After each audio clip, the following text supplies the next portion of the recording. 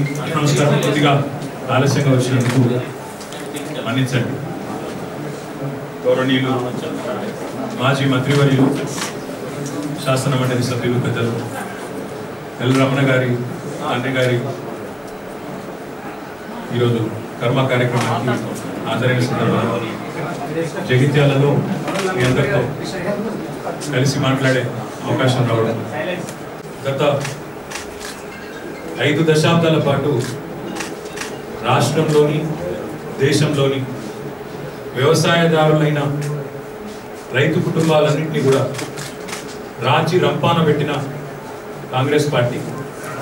మళ్ళీ ఒకసారి తిరిగి బాహాటంగా నిస్సిగ్గుగా నిర్లజ్జగా తన ప్రదేశ్ కాంగ్రెస్ కమిటీ అధ్యక్షుడి మాటల్లో వ్యవసాయదారుల పట్ల రైతుల పట్ల వారికి ఉన్న అవగాహన లేమిని అవగాహన రాహిత్యాన్ని కుండబద్దలు కొట్టినట్టు బయటపెట్టుకున్నారు ఐదు దశాబ్దాల పాటు కరెంట్ ఇవ్వకుండా ఐదు దశాబ్దాల పాటు సాగునీరు ఇవ్వకుండా ఐదు దశాబ్దాల పాటు సకాలంలో ఎరువులు విత్తనాలు ఇవ్వకుండా ఐదు దశాబ్దాల పాటు ప్రాజెక్టులు కట్టకుండా చెరువుల్ని పట్టించుకోకుండా వ్యవసాయాన్ని అధోగతి పాలు చేసిన కాంగ్రెస్ పార్టీ రైతుల ఆత్మహత్యలకు కారణమైన కాంగ్రెస్ పార్టీ. మళ్ళీ ఒకసారి ఈరోజు ఇప్పుడిప్పుడే బాగై ఇప్పుడిప్పుడే కుదుటపడుతున్న తెలంగాణ రైతన్నుల కడుపుల మీద కొట్టే విధంగా చాలా దారుణంగా చాలా హీనంగా ఆ పార్టీ యొక్క అధ్యక్షుడు తెలంగాణ పార్టీ యొక్క అధ్యక్షుడు తెలంగాణ ప్రదేశ్ కాంగ్రెస్ అధ్యక్షుడు రేవంత్ రెడ్డి చేసిన వ్యాఖ్యల్ని భారత రాష్ట్ర సమితి తరఫున అదేవిధంగా తెలంగాణ రాష్ట్ర ప్రభుత్వం తరపున చాలా తీవ్రంగా మేమందరం కూడా గ్రహిస్తున్నాము ఖండిస్తున్నాము తెలంగాణ రైతాంగానికి కాంగ్రెస్ పార్టీ ఖచ్చితంగా క్షమాపణ చెప్పవలసిందే అని చెప్పి కూడా గత మూడు నాలుగు రోజులుగా తాను చేసిన వ్యాఖ్యలు ఉపసంహరించుకొని తెలంగాణ రైతాంగానికి క్షమాపణ చెప్పి దశాబ్దాల పాటు కాంగ్రెస్ చేసిన దగాను మళ్ళీ పునరావృతం కాకుండా పద్ధతిగా మాట్లాడాలని హెచ్చరిస్తే రేవంత్ రెడ్డి గారు కానీ కాంగ్రెస్ పార్టీ కానీ లేదా కాంగ్రెస్ పార్టీలో గతంలో మంత్రులుగా పనిచేసిన జీవన్ రెడ్డి గారు లాంటి నాయకులు కానీ కనీసం కూడా స్పందించకపోవడం నిజంగా కూడా శోచనీయం బాధాకరం. ఇవాళ తెలంగాణ రైతులు ఆలోచించవలసిన సందర్భం ఇది. తెలంగాణ రైతులు ఒక్కసారి గుండె మీద చేసుకొని ఆత్మవిమర్శ చేసుకోవాలని చెప్పి కూడా నేను విజ్ఞప్తి చేస్తా ఉన్నాను రెండు వేల పద్నాలుగుకు ముందు తెలంగాణ రాష్ట్రం ఏర్పడక ముందు కేసీఆర్ గారు ముఖ్యమంత్రి కాకముందు ఈ రాష్ట్రంలో జగిత్యాల నియోజకవర్గం కావచ్చు లేదా ఇంకో నియోజకవర్గం కావచ్చు రాష్ట్రంలో ఏ మారుమూల పల్లెలోనైనా ఎవరైనా పెద్ద మనిషి చచ్చిపోయినా కనీసం వాళ్ళ కుటుంబ సభ్యుడో బంధువో స్నేహితుడో ఎవరైనా చనిపోతే ఆఖరికి అంత్యక్రియలకు పోయి స్నానాలు చేసేందుకు కూడా కరెంటు లేని మాట వాస్తవమా కాదా ఒక్కసారి? గ్రామాల్లో ఉండే మా రైతు బిడ్డలు మా రైతన్నలు వ్యవసాయదారుల పిల్లలు అందరూ కూడా ఆలోచించాలని నేను విజ్ఞప్తి చేస్తా ఉన్నాను ఆనాడు కాంగ్రెస్ ప్రభుత్వంలో రోజుకు ఆరు గంటల కరెంట్ అన్నారు. కానీ ఎన్నడన్నా ఒక్క రోజు. ఆరు గంటలు కాదు కదా మూడు గంటలన్నా సరిగ్గా ఇచ్చిన పరిస్థితి ఉన్నదా? ఒక్కసారి గుండె మీద చేసుకొని చెప్పాలని మిత్రులందరినీ కోరుతా ఉన్నాను. కరెంట్ ఇయ్యలేదు. ఆనాడు కనీసం ఎరువులు విత్తనాలు కూడా టైంకి ఇయ్యలేదు. ఒకసారి గుర్తు తెచ్చుకోండి ఆనాడు వ్యవసాయదారుల పాటలు. ఎట్లుండే ఆనాడు? కాలం అయింది అంటే నాట్లేసే కాలం వచ్చింది అంటే ఎరువుల దుకాణాల ముందు చెప్పుల వరుసలు విత్తనం మన విత్తనాల దుకాణాల కూడా చెప్పుల క్యూలు. నేను చెప్పేది వాస్తవమా కాదా? తెలంగాణ రైతన్నలు ఆలోచించాలని చెప్పి నేను విజ్ఞప్తి చేస్తా ఉన్నాను ఎండాకాలం వచ్చిందంటే ఎండిన వరి చేనులు ఎండిన మక్కంకులు కరెంటు కోసం సబ్ ముంగడ ధర్నాలు సబ్ స్టేషన్లో పోయి అక్కడ ఉండే విద్యుత్ అధికారులు లోపలేసి అరలేసి గొల్లెం పెట్టి తర్వాత ఇదే పత్రికా మిత్రులు పోయి ఫోటోలు కొట్టి ఎన్నిసార్లు ఫోటోలు వేసిండో ఒకసారి ఎలా చేసుకోవాలని చెప్పి మా రైతులను మా జర్నలిస్ట్ అందరం కూడా నేను అడుగుతా ఉన్నాను నేను చెప్పేది వాస్తవమా కాదా ఆలోచించండి.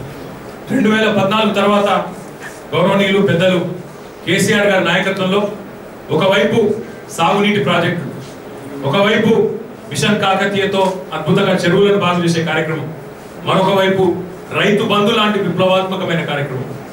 భారతదేశ చరిత్రలో స్వాతంత్రం తర్వాత భారతదేశ చరిత్రలో స్వాతంత్రం తర్వాత రైతు బంధు లాంటి విప్లవాత్మకమైన కార్యక్రమం రాలేదు అనే మాట అక్షర సత్యం అని చెప్పుకుని విజ్ఞప్తి చేస్తా ఉన్నాను అదేవిధంగా ఇంకొక మాట కూడా ఈ సందర్భంగా మిత్రులు నేను అడుగుతా రైతు బంధు ఒకటే కాదు భారతదేశంలో ఈరోజు ఇరవై ఎనిమిది రాష్ట్రాలు ఉంటే ఏ ఒక్క రాష్ట్రంలోనైనా అటు భారతీయ జనతా పార్టీ పరిపాలించే రాష్ట్రాలు కావచ్చు లేదా ఇటు కాంగ్రెస్ పార్టీ పరిపాలించే రాష్ట్రాలు కావచ్చు.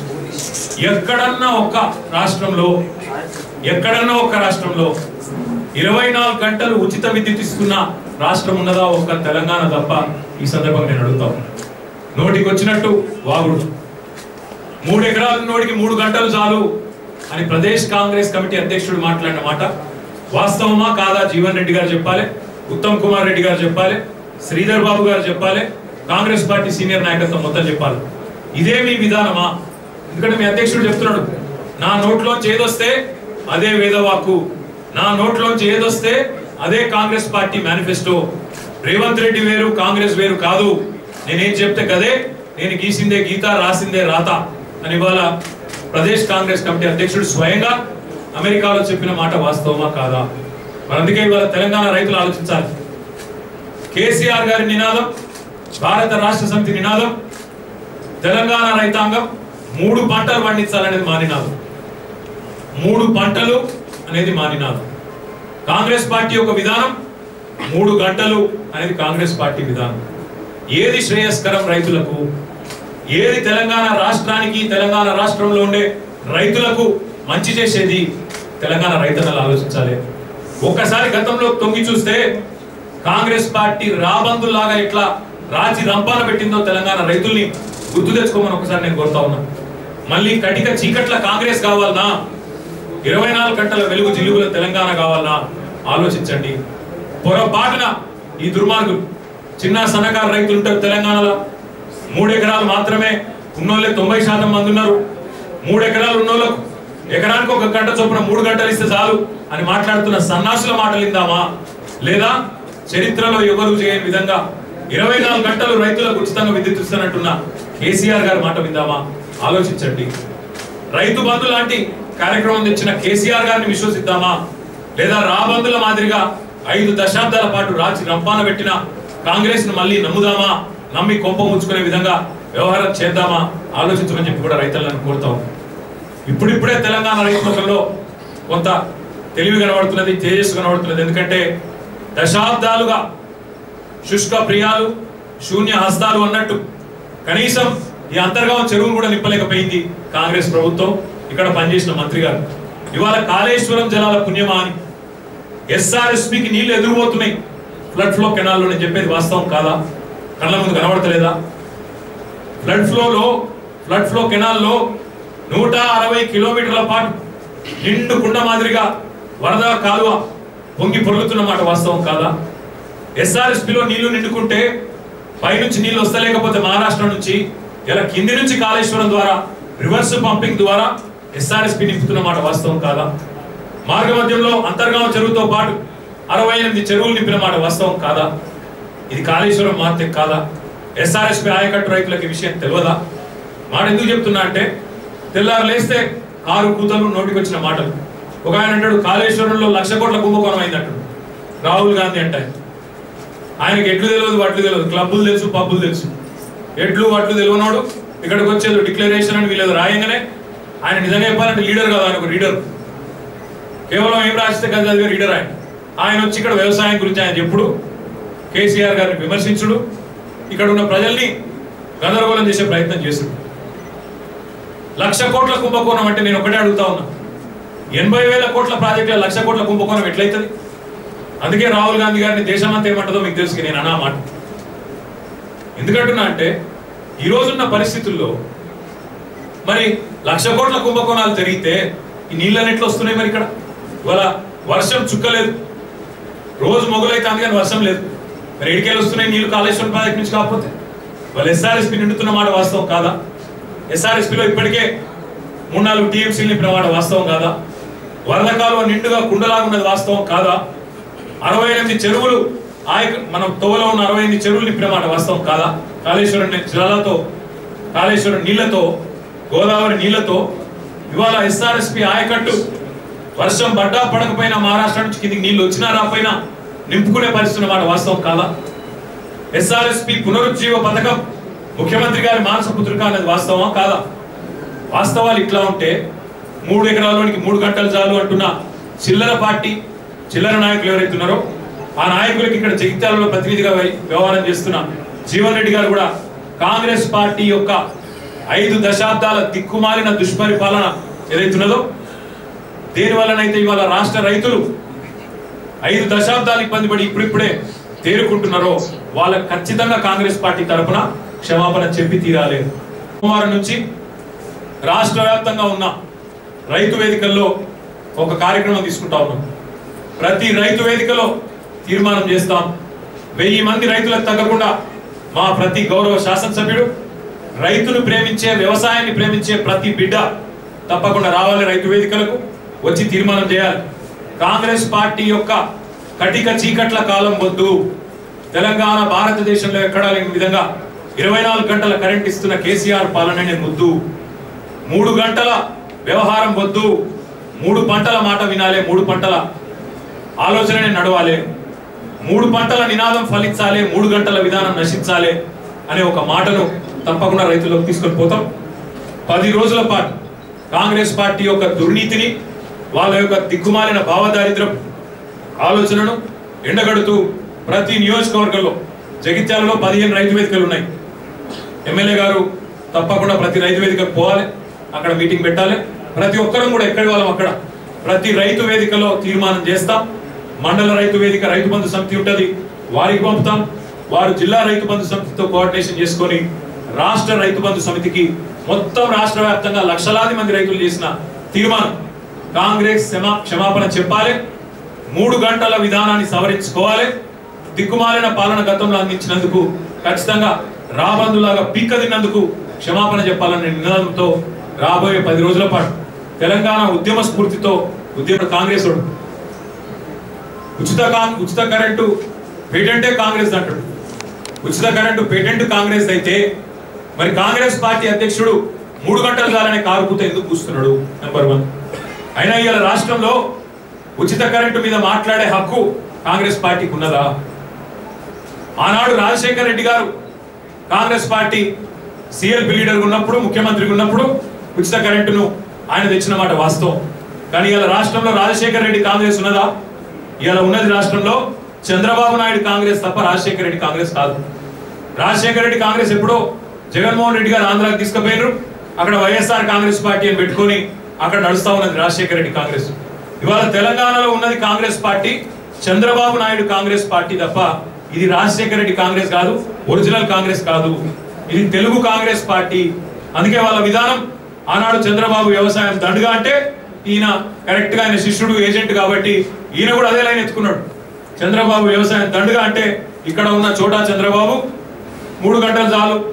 అని ముక్కిరిస్తున్నాడు. ఇవాళ తెలంగాణ రైతుల్ని అవమానించే విధంగా మాట్లాడుతూ ఉన్నాడు. అందుకే కాంగ్రెస్ నాయకులకు నేను గుర్తు చేస్తా ఉన్నా. ఇక్కడ ఉన్న కాంగ్రెస్ ఈరోజు మీది కాదు. ఇక్కడ ఉన్న కాంగ్రెస్ చంద్రబాబు చెప్పు చేతల్లో నడిచే కాంగ్రెస్ తప్ప ఇంకోటి కాదు. ఆర్ఎస్ఎస్ చెప్పు చేతల్లో నడిచే కాంగ్రెస్ తప్ప మీది ఒరిజినల్ కాంగ్రెస్ కానే కాదు అనే మాట కూడా విజ్ఞప్తి చేస్తూ పది రోజుల పాటు ఉద్యమంలో అందరం కూడా ఎక్కడికక్కడ క్షేత్ర స్థాయిలో ప్రజాప్రతినిధులు అందరం మమేకమవుతాం. మా జిల్లా పరిషత్ చైర్మన్లు మా రైతు బంధు సమితి అధ్యక్షులు సింగిల్ విండోల అధ్యక్షులు లైబ్రరీ అధ్యక్షులు శాసన సభ్యులు శాసన మండలి సభ్యులు మంత్రులు సాధ్యమైనంత మేరకు ప్రతి ఒక్కరు కూడా కార్యకర్తలందరూ కూడా పాల్గొంటారు. రైతులను చైతన్యవంతం చేస్తాం. కాంగ్రెస్ పార్టీ యొక్క నిజ రూపాన్ని నగ్నంగా ప్రజల ముందు బయట పెడతాం. ఎక్కడ కూడా భారతదేశంలో ఒక్క రాష్ట్రంలో కాదు. ఎక్కడ కూడా కాంగ్రెస్ పరిపాలన ఉన్న ఒక్క రాష్ట్రంలోనన్నా కనీసం పది గంటలన్నా ఉచితంగా కరెంట్ ఇస్తున్నారా చెప్పాలని చెప్పి కూడా నేను డిమాండ్ చేస్తా ఉన్నాను ఇంకా సిగ్గుమాలిన మాట ఏంటంటే లాగు బుక్కులు కావాలని చెప్పి రాజకీయం చేస్తా ఉన్నారు. ఇక్కడ ఒక ఆయన వచ్చి నిన్నగాక మన సబ్ స్టేషన్ ఒకటి ధర్నా చేసి నేను ఆయన ఒకటే అడుగుతా ఉన్నా ఆయననే కాదు కాంగ్రెస్ పార్టీ కూడా అడుగుతా ఉన్నా. తప్పకుండా చర్చ పెడదాం ప్రజాక్షేత్రంలో తేల్చుకుందాం ప్రజలను పోయి అడుగుదాం. మీకు కాంగ్రెస్ గతంలో ఇచ్చిన కరెంటు కావాలన్నా కేసీఆర్ ఇచ్చిన కరెంట్ కావాలన్నా అని అడుగుదాం. దాని ఆధారంగా ఓట్లు అడుగుదాం. మాకు అభ్యంతరం లేదు. కాంగ్రెస్ ఇచ్చినట్టు ఆనాడు మూడు గంటల కరెంటు నాలుగు గంటల కరెంటు కావన్నా మళ్ళా మోటార్లు కాలిపోవడు స్టార్టర్లు వెళ్ళిపోవడు ట్రాన్స్ఫార్మర్లు వెళ్ళిపోవడు కావన్నా అర్ధరాత్రి పోయి బాయికాడ వండుకునుడు కావన్నా పాము గుట్టుడు తేలుగుట్టుడు మనుషులు చచ్చుడు కావన్నా పిల్లం పిల్లలు ఇడిచిపెట్టి రాత్రి బాయికాడికి పోయే పరిస్థితి కావన్నా లేదా కేసీఆర్ గారి పరిపాలనలో ఇచ్చినట్టు ఇరవై నాలుగు గంటల కరెంట్ కావాలని తప్పకుండా అడుగుదాం. ప్రజల తీర్పు ఇమ్మందాం గతంలో కాంగ్రెస్ ఇచ్చినట్టు కరెంట్ అన్నా కేసీఆర్ ఇచ్చినట్టు కరెంట్ అన్నా అడుగుదాం. చైతన్యవంతమైన తెలంగాణ రైతులు తప్పకుండా తీర్పు చెప్తారనే విశ్వాసం మాకుంది. ప్రజాక్షేత్రంలో కాంగ్రెస్ రాబోయే పది రోజులు ఎండగట్టే క్రమంలో దయచేసి మా మీడియా మిత్రులకు నా విజ్ఞప్తి. మీరే కవర్ చేసిన ఎవరో కాదు. రెండు వేల నాలుగుకు ముందు చంద్రబాబు పరిపాలనల కరెంట్ ఎట్లుండే? ఆ రోజు వ్యవసాయం దుస్థితి ఎట్లుండే? రెండు వేల నాలుగు నుంచి పద్నాలుగు వరకు కాంగ్రెస్ పార్టీ పరిపాలనలో ఎండిపోయిన మక్కంకులు సబ్స్టేషన్ల ధర్నాలు సబ్స్టేషన్ల కుర్చీలు వలుగుడు విద్యుత్ అధికారులను నిర్బంధించుడు తాళాలు గొల్లాలు పెట్టి వాళ్ళను అందులో వేస్తే మీరే ఫోటోలు కొట్టేసి నేను పత్రికా విలేకరుల మిత్రులతో కూడా అడుగుతా ఉన్నా జర్నలిస్ట్ మిత్రులతో కూడా అడుగుతా ఉన్నా. మీరందరూ తెలంగాణ ఉద్యమంలో క్రియాశీలంగా పాల్గొన్న మిత్రుడు మిమ్మల్ని కూడా కోరేది ఒకటే. ఇది రాజకీయ సమస్య కాదు ఇది రైతుల సమస్య.